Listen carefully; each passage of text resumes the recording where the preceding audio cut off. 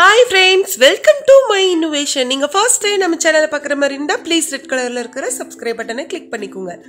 கூடவே வர பெல் ஐக்கானையும் கிளிக் பண்ணுங்கள் அப்போ தான் நான் அப்லோட் பண்ணுற ஒவ்வொரு வீடியோ உங்களுக்கு நோட்டிஃபிகேஷனாக வந்து சேரும். இன்றைக்கி நம்ம வீடியோவில் சம்மர் ஃப்ராக் தாங்க பார்க்க போகிறோம் ரொம்ப சூப்பரான சீக்கிரமாக குயிக்காக ஸ்டிச் பண்ணிடலாம். இப்போ ஷோல்டரில் இருந்து நம்ம முழு நீளம் எடுத்துக்கலாம். அதாவது லென்த் ஹைட் எடுத்துக்கலாம். இது வந்து நம்மளுடைய விருப்பம் தான். எவ்வளோ நமக்கு நீளம் தேவையோ அவ்வளோ நீளம் நம்ம எடுத்துக்கலாம். இப்போ ரெண்டாவது மார்பு சுற்றளவு ரொம்ப டைட்டாகவும் இல்லாமல் ரொம்ப லூஸாகவும் இல்லாமல் ரெண்டு ஃபிங்கர் நமக்கு அந்த கேப் கேப்குள்ளே போகிற மாதிரி நம்ம எடுத்துக்கலாம். டுவெண்ட்டி சிக்ஸ் வருதுங்க. இப்போ பாடி நீளம். ஹிப்பு கிட்ட வர்றது தான் பாடி நீளம். பதினோரு இன்ச் வருது. எங்கே நம்ம எடுத்தோமோ அங்கேயே வந்து ஹிப் அகலமும் எடுத்துக்கலாம். ஹிப் பிரெத்துன்னு சொல்லுவாங்க. டுவெண்ட்டி சிக்ஸ் இப்போ ஷோல்டர் பார்த்தீங்கன்னா இப்படியும் நீங்கள் அளவெடுத்துக்கலாம். அவங்க அளவு ட்ரெஸ் போட்டிருப்பாங்க இல்லையா? அதுலேயும் அளவெடுத்துக்கலாம். முழு தோள்பட்டையும் எடுத்துக்கலாம். இந்த எலும்பும் அந்த தோல் தோள்பட்டைக்கிட்ட எலும்பு இருக்கும். அந்த ரெண்டு எலும்புகளும் கரெக்டாக வச்சு நம்ம இன்ச் டேப் வச்சு அளவெடுத்துக்கலாம். இப்போ நெக்கினுடைய நீளம் பார்த்திங்கன்னா ஷோல்டரில் இருந்து கரெக்டாக தோள்பட்டை அளவில் இருந்து நம்ம இப்படி கை எங்கே இரு அவங்களுக்கு தேவையோ அங்கே ஒரு விரலை வச்சு நம்ம கரெக்டான அளவு எடுத்துக்கலாம். இப்போ நெக்கினுடைய அகலம் வந்து பார்த்துட்டிங்கன்னா தோள்பட்டை அளவில் இருந்து கையை வச்சு நம்ம இப்படி ஒரு ஃபிங்கர் வச்சுட்டு கரெக்டாக எண்டிங் பை முடியுது இல்லைங்களா? அங்கே இருந்து கழுத்தின் பகுதி நடு பகுதி வரைக்கும் நம்ம எடுத்துக்கலாம். இது வந்து பனின் போட்டிருக்கிறதுனால நமக்கு அகலம் வந்து ஜாஸ்தியாக தெரியும். நம்ம ஒரு ரெண்டரை இன்ச்சு வச்சா போதுங்க. இப்போ கையினுடைய நீளம் கையினுடைய அகலம் எங்கே நீளம் முடியுதோ அந்த இடத்துல நம்ம கையினுடைய சுற்றளவு எடுத்துக்கலாம். இப்போ அஞ்சு இன்ச்சு நீளம் அகலம் சுற்றளவு வந்து பார்த்திங்கன்னா பத்தரை இன்ச்சு வருது. நம்ம எக்ஸ்ட்ராலாம் பிடிக்கிறது வந்து நம்ம கட்டிங் பண்ணும்போது நான் உங்களுக்கு சொல்லித்தரேன். இப்போ வந்து துணி வந்து இது வந்து ஒன் மீட்டர் நம்ம கட்டிங் வந்து எப்பவும் போடுற மாதிரி இல்லாமல் இப்போ நேராகவே போட்டுக்கலாம். கரைப்பாகம் கரைப்பாகம் மடித்திட்டு அப்படியே நாலு பக்கம் நாலு ஃபோல்டிங்காக வர மாதிரி மடிச்சுக்கலாம். அதாவது நேராகவே மடித்துக்கலாம். நம்ம வர்ற போன வீடியோலையெல்லாம் நாலாக இப்படி வந்து ஆப்போசிட் டைரெக்ஷனில் மடித்தோம். இதை வந்து அப்படியே நேராகவே நீங்கள் மடிச்சுக்கலாம். ஃபோல்டிங் பாயிண்டில் தான் நம்ம நெக்கினுடைய நீளம் அகலம் எல்லாமே எடுக்கணும். ஃபோல்டிங் பாயிண்ட் இல்லாமல் கிளாக் பீஸ் வர்றது வந்து கட்டிங் பாயிண்ட் வரணும். அப்படி ஆப்போசிட்டில் போட்டுக்கோங்க. இப்போ என்ன பண்ணலான்னா நம்ம ஃபஸ்ட்டு முழு நீளம் எடுத்துக்கலாம். முழு நீளம் எடுத்து இல்லைங்களா? அதில் ப்ளஸ் ஒன்றரை இன்ச்சு எடுத்துக்கலாம். டுவெண்ட்டி சிக்ஸ் வருதுங்களா? டுவெண்ட்டி செவன் அண்ட் ஆஃப் நம்ம எடுத்துக்க போகிறோம் நமக்கு ஸ்டிச்சிங்க்கு எக்ஸ்ட்ரா வரும். அதுக்கு நம்ம தேவையானதை எடுத்துக்கலாம். இப்போ நெக்ஸ்ட் வந்து பார்த்துட்டிங்கன்னா நெக்கினுடைய அகலம் தோள்பட்டை அளவு. தோள்பட்டை அளவு மூணு வந்ததுங்க. ப்ளஸ் ஆஃப் இன்ச் நம்ம ஸ்டிச்சிங்க்கு விடுவோம் இல்லைங்களா? அதுக்கு வந்து ப்ளஸ் ஆஃப் இன்ச் எடுத்துக்கலாம். இப்போ ஹாம்கோல் பாயிண்ட் எப்படி கண்டுபிடிக்கிறதுனா நம்ம ஜஸ்ட் அளவு எடுத்தோம் இல்லைங்களா? அது ஆறால் நம்ம டிவைட் பண்ணிவிட்டு ப்ளஸ் முக்கால் இன்ச்சு நம்ம சேர்த்திட்டோம்னா நமக்கு ஹாம்கோல் பாயிண்ட் கிடச்சிடும். அப்படி உங்களுக்கு இது மெஷர் பண்ண வரலன்னா நீங்கள் அளவு ஃப்ராக் வச்சு கரெக்டாக ஹாம்கோல் நீங்கள் அளவு எடுத்துக்கோங்க. இப்போ அந்த ஹார்ம்கோல் அளவு எங்கே முடியுதோ கரெக்டாக அங்கே மார்பு சுற்றளவு அளவு எடுத்தோம் இல்லைங்களா? நாலாக டிவைட் பண்ணி ப்ளஸ் டூ இன்ச்சஸ் நம்ம சேர்த்திக்கலாம். இப்போ நமக்கு ஒரு எல் ஷேப் கிடச்சிருச்சுங்க. இப்போ பாடி நீல் எடுத்து இல்லைங்களா?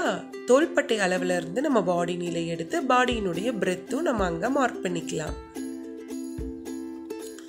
மார்பு சுற்றளவு எடுத்த அளவிலிருந்து மூணு இன்ச்சு சேர்த்திக்கலாம். அதாவது பதினோரு இன்ச்சு வந்தது நாலால் டிவைட் பண்ணி சேர்த்தப்போ பதினாலு இன்ச்சு எடுத்துக்கலாம். அதுதான் நமக்கு கீழ் சுற்றளவு நீளம் எடுத்து இல்லைங்களா அதில் எண்டிங் கீழ் சுற்றளவு நம்ம எடுத்துக்கணும். இப்போ ஹாம்கோல் ஸ்கேல் இது வந்து தனியாக கடைகளில் விற்கிது அதை எடுத்து நம்ம ஹாம்கோல் வரைஞ்சிக்கலாம். பிகினர்ஸும் ரொம்ப யூஸ்ஃபுல்லாக இருக்கும். நீங்கள் ப்ராக்டிஸ் இருக்கிறவங்களுக்கு நீங்கள் கையிலேயே வரைஞ்சிக்கலாம். நெக்கினுடைய நீளம் அகலம் வரைஞ்சிட்டு ஆனால் நான் கட் பண்ணல. நம்ம வேற ஒரு எக்ஸ்ட்ரா கிளாத்தில் நம்ம கட் பண்ணி எடுத்துக்கலாம். இப்போ நம்ம அளவுகள் எல்லாமே எடுத்து மார்க் பண்ணியாச்சு. இப்போ ஹார்ம் போல் வரைஞ்சிட்டோம். அப்படியே ஹிப் பகுதி வந்தோம். கீழே எக்ஸ்ட்ரா மூணு இன்ச் எடுத்ததுனால நமக்கு கீழே வந்து விரிவாக வந்துடும். உங்களுக்கு இன்னி நல்லா அகலமாக துணி இருந்துச்சுன்னா இன்னிமே நல்லா கீழே வந்து பிரெத் விடுங்க. ஃப்ராக்குக்கு வந்து நல்லா பிரெத் இருந்தால் நல்லாயிருக்கும் நான் ஒன் மீட்டரில் தான் ஸ்டிச் பண்ணுறேன் பாப்பா கொஞ்சம் பாடி உடம்பு இருக்கிறதுனால நமக்கு இந்த ஒன் மீட்டர் கரெக்டாக போச்சு. எக்ஸ்ட்ரா கிளாத் இருக்கும்போது நமக்கு இனிமேல் கீழ் சுற்றளவு அதிகமாக வரும். இப்போ முழு நீளம் இப்போ பாருங்கள் இப்படி தான் அளவுகள் எடுத்திருக்கேன் ப்ளஸ் ஒன்றரை இன்ச்சு. மார்பு சுற்றளவு நாலால் டிவைட் பண்ணிவிட்டேன் தோள்பட்டை அளவு ஆஃப் இன்ச் எக்ஸ்ட்ரா எடுத்துட்டேன். பாடி நீளம் பதினொன்று வந்துச்சு. பாடி அகலம் இருபத்தி ஆறு இன்ச்சு வந்தது. அதையும் நாலால் டிவைட் பண்ணிக்கோங்க. கை நீளம் கை சுற்றளவு. ஆம்கோல் அளவு வந்து ஜஸ்ட் பாயிண்ட்டை ஆறால் வகுத்துக்கணும். வகுத்து ப்ளஸ் முக்கால் இன்ச்சு சேர்த்திக்கலாம். நாலரையும் அரையும் ஆறு இன்ச்சு. நான் அது அஞ்சு இன்ச்சுன்னு போட்டு வச்சுருக்கேன். ஆனால் அது அஞ்சு இன்ச்சு இல்லை ஆறு இன்ச்சு. இப்போ கை வந்து நம்ம அளவெடுத்துக்கலாம். கை வந்து நீங்கள் நார்மலாக பாடி அளவு வந்துச்சு பார்த்தீங்களா? மார்பு சுற்றளவு அந்த அளவு தான் நமக்கு ஹாம்கோல் கிட்ட வரும். அந்த ஆறரை இன்ச்சு நம்ம எடுத்து இல்லைங்களா? அதுதான் வரும். நான் என்ன பண்ண போகிறேன்னா எக்ஸ்ட்ரா ஒரு அஞ்சு இன்ச்சு விட போகிறேன் எதுக்குன்னா நம்ம பஃப் ஸ்லீவ் தைக்கிறங்காட்டிக்கு எக்ஸ்ட்ரா அஞ்சு இன்ச்சு மேல் பகுதியிலையும் கீழ் பகுதியிலையும் நம்ம எக்ஸ்ட்ரா விட்டுறலாம். கை கீழ் சுற்றளவு வந்தது ரெண்டால் டிவைட் பண்ணிக்கோங்க. ஏன்னா நம்ம சுற்றி எடுத்தோம். அதை ரெண்டால் நம்ம டிவைட் பண்ணிவிட்டு அதுக்கப்புறம் ஆஃப் இன்ச்சு சேர்த்துனா போதும். நான் எக்ஸ்ட்ரா நாலு இன்ச்சோ இல்லை அஞ்சு இன்ச்சு எவ்வளோ வேணுமோ நீங்கள் விட்டுக்கலாம். எவ்வளோ பஃப் தேவையோ அவ்வளோ விட்டுக்கோங்க. விட்டுட்டு நம்ம இப்படி கை ஷேப் வரைஞ்சிடலாம் பஃப் லீவ்ஸ் பஃப் ஸ்லீவ்ன்றதுனால நம்ம எக்ஸ்ட்ராவாக வச்சு கட் பண்ணிக்கலாம். நம்ம முழு கை நீள் எடுத்து இல்லைங்களா? கை வந்து செயிட் பாயிண்ட் வந்து நம்ம ஒரு ஒன்றரை இன்ச்சு கம்மியாக எடுத்துட்டோம்னா நமக்கு இந்த அளவு கிடச்சிரும். இந்த பீஸ் எதுக்கு நேராக ஒரு பீஸ் கட் பண்ணுறேன்னா நமக்கு வந்து ஃப்ராக்குக்கு கெட்டுவோம் இல்லைங்களா சைடில் அதுக்கு நம்ம இது கட் பண்ணிக்கலாம். சும்மா ஒரு அப்ரோச்மெண்ட்டாக நீங்கள் கட் பண்ணால் போதும். நான் ஒரு அகலம் வந்துட்டு ஒரு ஒன்றரையில் ரெண்டு இன்ச்சு அகலம் எடுத்துக்கலாம். நீளம் வந்து பார்த்துட்டிங்கன்னா ஒரு இருபதுலேருந்து இருபத்தி ரெண்டு இன்ச்சு அந்த மாதிரி எடுத்துக்கலாம். அப்போ தான் நமக்கு கெட்டும் போது நல்லாயிருக்கும். இப்போ ரெண்டு ரெண்டுன்னா கட் பண்ணி எடுத்தாச்சு. இப்போ நெக் பகுதி வந்து நம்ம அதில் ஃப்ராக்கில் கட் பண்ணல இல்லைங்களா? இப்போ இதில் நம்ம கட் பண்ணிக்கலாம். ஸ்டார்டிங் வந்து நான் கேன்வாஸ் அந்த மாதிரி எதுவும் வச்சு நான் ஸ்டிச் பண்ணி காமிக்கல. சும்மா ரஃப்பாக நம்ம எப்படி ஸ்டிச் பண்ணுறது மட்டும்தான் நான் காமிச்சிருக்கேன். இப்படி ரெண்டாக மடிச்சுக்கலாம். நெக்கினுடைய நீளமும் அகலமும் மார்க் பண்ணிவிட்டு சும்மா ஒரு ரவுண்டு வரைஞ்சிக்கலாம். பேசிக் ரவுண்டு போதும். நம்ம போக போக நெக்ஸ்ட்டு அப்படி அப்படியே ஸ்டெப் பை ஸ்டெப்பையாக ஏறி போகலாம் எடுத்ததுமே நான் உங்களுக்கு வந்து ரொம்ப கிராண்டாக சொல்லி கொடுத்தா கண்டிப்பாக புரியவே செய்யாது. இப்போ நெக்ஸ்ட்டு ஃப்ராக் வந்து நம்ம வந்து நம்ம வீடியோவில் இதை விட கொஞ்சம் அப்படியே எக்ஸ்ட்ராவாக நமக்கு வந்து டிசைன் வரும். ஜிப்பு வச்சு ஸ்டிச் பண்ணலாம் நெக்ஸ்ட் வீடியோவில் நான் பேசிக்லேருந்து சொல்லி தரதுனால உங்களுக்கு ஸ்டெப் பை ஸ்டெப் பையாக போகிறேன் இப்போ ஃப்ராக் வந்து இது வந்து ஸ்டெப் ஒன்னு நினச்சிக்கோங்க. பார்ட் ஒன் பார்ட் டூ அப்படி வரும். அப்புறம் நெக்ஸ்ட் ஃப்ராக் வந்து பார்ட் டூ வந்து இதை விட கொஞ்சம் நமக்கு எக்ஸ்ட்ராவாக டிசைனிங் அப்புறம் வந்து எக்ஸ்ட்ரா ஸ்டிச்சிங் அந்த மாதிரி வரும். தேர்ட் பார்ட்டில் அதை விட அப்படி அப்படி நம்ம கொண்டு போயிடலாம். இப்போ வந்து நம்ம அந்த நேராக ஒரு பீஸ் கட் பண்ணோம் இல்லைங்களா? ஃப்ராக் ஃப்ராக்குக்கு சைடில் வைக்கிறதுக்கு ஸ்டாப் பீஸ்ன்னு சொல்லுவாங்க. இது வந்து நம்ம என்ன பண்ணிக்கலாம்? ரெண்டாக மடிச்சுக்கலாம். மடிச்சிட்டு சைடில் லாக் பண்ணிவிட்டு அப்படியே நேராக ஒரு தையல் போட்டுகிட்டே வந்துடலாம். நம்ம தைக்கும் போது உள் பக்கமாக தைக்கணும். நல்ல பக்கம் வந்து உள் சைடு இருக்கணும். உள் பக்க துணி வந்து நம்ம ஸ்டிச்சிங்கில் இருக்கணும். இப்படி பார்த்தீங்கனாலே உங்களுக்கு நல்லா புரியும். கட் பண்ணி எடுத்துடலாம். இப்போ நம்ம இங்கே சைடாக தானே அடிச்சிருக்கோம். அந்த எக்ஸ்ட்ரா கிளாத்தை நம்ம கட் பண்ணிடலாம். கட் பண்ணிவிட்டு இந்த மாதிரி ஒரு இரும்பு கம்பி வச்சுட்டு இப்படி கிளாத்தை உள்ளே விட்டுட்டு நம்ம திருப்பி எடுத்துடலாம். இப்போ நல்ல பக்கம் வந்துடும். அவ்வளோதான் ஈஸியான மெத்தேடு தான். பாருங்கள்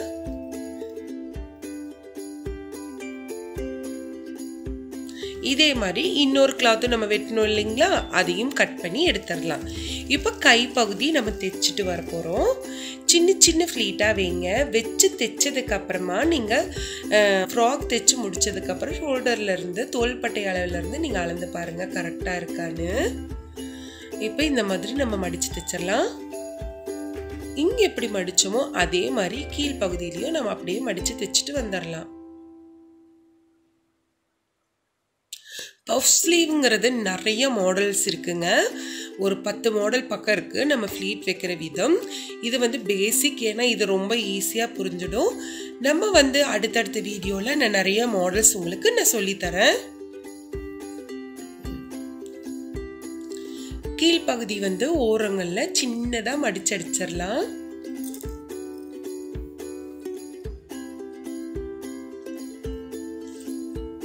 இப்போ இந்த லேஸ் வந்து எல்லா பட்டன் ஹவுஸ் கடையிலையும் கிடைக்கும். மீட்டரே வந்து பார்த்துட்டிங்கன்னா பத்து ரூபா தான் இந்த கைப்பகுதி கீழ்ப்பகுதியில் வச்சுட்டு நம்ம தைச்சிட்டு வந்துடலாம்.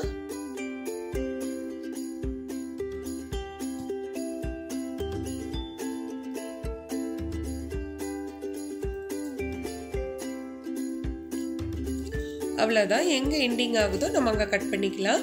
நம்ம தனித்தனியாக லேஸ் வச்சு கட் பண்ண வேண்டாம். கொஞ்சம் கொஞ்சம் எக்ஸ்ட்ரா வேஸ்ட் ஆகிடும் பீஸு இப்போ வந்து நம்ம ஃப்ராக் ஸ்டிச் பண்ணிடலாம். நல்ல பக்கம் வந்துட்டு நம்ம வச்சுட்டு நம்ம கட் பண்ணோம் இல்லைங்களா நெக் பீஸு அதில் நம்ம தைச்சிட்டு வரலாம். நெக் பீஸ் தைக்கும் போது உள்பக்கமாக இருக்கிற மாதிரி நீங்கள் ஸ்டிச்சிங் பார்த்துக்கோங்க. கரெக்டாக ரவுண்டாக நம்ம ஸ்டிச் பண்ணிவிட்டு கட் பண்ணி எடுத்துடலாம். நெக் பகுதி நம்ம அந்த ஒரு பீஸில் கட் பண்ணோம் இல்லைங்களா? அதே அளவில் ஃப்ராக் பீஸை நம்ம கட் பண்ணி எடுத்துடலாம். இப்போ அந்த துணி நம்ம தைச்ச துணியை உள்ளே நல்லா மடித்து விட்டுக்கலாம். மடித்து விட்டுட்டு நம்ம ஒரு தையல் போட்டு வந்துடலாம். ஓரத்தில் நம்ம தையல் போட்டு வரணும்.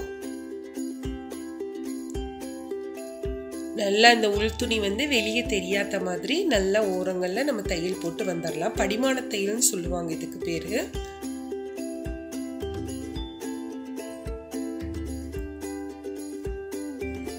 இப்போ கட் பண்ணிவிட்டு இப்படி எக்ஸ்ட்ரா கிளாத் வருது பார்த்தீங்களா நம்ம அந்த உள் பக்கம் வச்சு தைச்சோம் இல்லைங்களா? அதையும் மட்டும் நம்ம தனியாக எடுத்துக்கலாம்.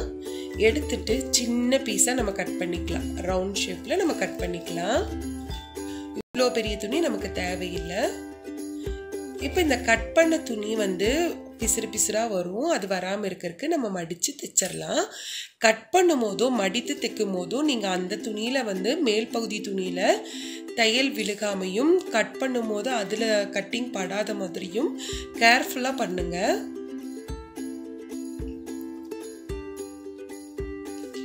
இப்போ கட் பண்ணியாச்சு. இப்போ என்ன பண்ணணும்னா மறுபடியும் இன்னொரு தையல் நம்ம போட்டுக்கலாம். லேஸ் வச்சு இன்னொரு ஸ்டிச்சிங் போட்டுக்கலாம். அப்போ அந்த உள்பகுதி துணி வந்து மேலே வராது.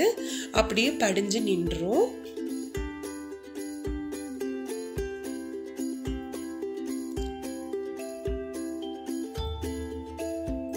கரெக்டாக நம்ம அந்த நெக் பகுதியில் வச்சு லேஸ் வச்சு ஸ்டிச்சிங் பண்ணிட்டு வந்துடலாம் அவ்வளோதான் இன்னொரு பீஸும் அதே மாதிரி வச்சு தைச்சிடலாம். அதுக்கு நான் லேஸ் வைக்கல. இப்போ நம்ம தோள்பட்டை அளவு வந்து ஜாயின் பண்ணிடலாம். ரெண்டு தோல் பாட்டும் வச்சுட்டு நம்ம ஷோல்டர் ஜாயின் பண்ணிக்கலாம். தோள்பட்டை அளவு. அந்த ஸ்டார்டிங் பாயிண்ட் கழுத்து பகுதியில் நல்லா டாம் பண்ணிக்கோங்க. ஹார்ம்ஃபுல் கிட்ட டாம் பண்ண தேவையில்லை. ஏன்னா அங்கே கை பகுதி வரும். இப்போ கை பகுதி நம்ம ஸ்டிச் பண்ணிட்டு வந்துடலாம். தைக்கும் போது கைப்பகுதி பாருங்கள் உள்பக்கமாக இருக்குது நல்ல பக்கமும் நல்ல பக்கமும் பார்த்த மாதிரி இருக்கணும். இப்போ அந்த டாப்பினுடைய பகுதியும் கைப்பகுதியும் நல்ல பக்கமாக பார்த்த மாதிரி இருக்கணும். நம்ம திருப்பும் போது நல்ல பக்கமாக இருக்கணும். ஸ்டிச்சிங் முடிச்சதுமே மேலே ஒரு இன்னொரு படிமான தையல் போட்டுக்கலாம்.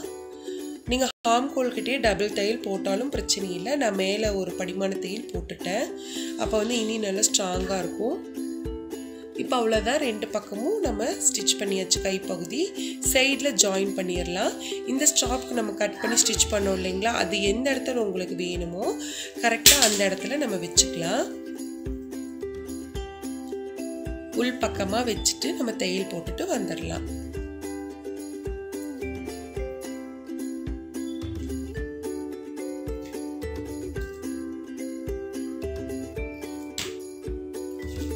உங்களுக்கு ஹார்ம் கோல் கிட்டேயெல்லாம் டவுட் வந்ததுன்னா நீங்கள் அளவு ஃப்ராக் வச்சு நீங்கள் ஹார்ம் கோல் கட் பண்ணி எடுத்துக்கோங்க. இப்போ ஓரங்களில் அப்படியே தையல் போட்டுட்டு வந்துடலாம். நெக்ஸ்ட்டு வந்து உங்களுக்கு ஃப்ராக் அளவு போட்டு கூட நான் சொல்லித்தரேன். உங்களுக்கு இதை அவ்வளோ புரியலைன்னா கண்டிப்பாக அதுவும் சொல்லித்தரேன்.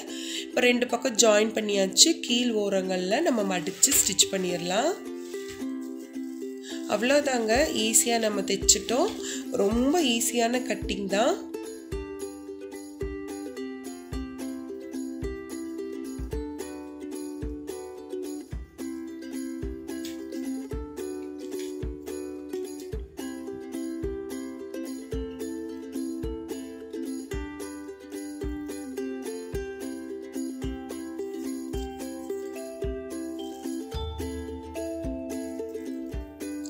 அவ்வளோதான் ஈஸியாக நம்ம ஃப்ராக் ஸ்டிச் பண்ணி எடுத்தாச்சு. ரொம்ப ஈஸியான சம்மர் ஃப்ராக் ரெடி ஆயிடுச்சு. இது பிடிச்சிருந்தா லைக் பண்ணுங்கள் ஷேர் பண்ணுங்க. மறக்காமல் நம்ம சேனலை சப்ஸ்கிரைப் பண்ணுங்க. தேங்க்யூ ஃபார் வாட்சிங் நான் நெக்ஸ்ட் வேறு இன்ட்ரெஸ்டிங்கான வ்ளாகோட உங்களை சந்திக்கிறேன். By bye friends